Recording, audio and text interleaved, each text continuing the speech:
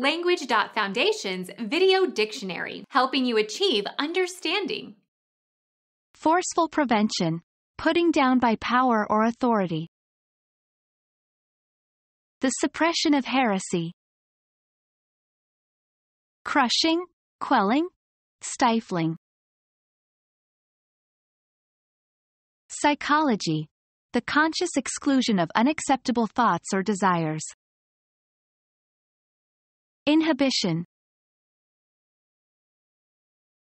The act of withholding or withdrawing some book or writing from publication or circulation. A suppression of the newspaper. Curtailment. The failure to develop some part or organ. Become our student and get access to effective and free educational materials.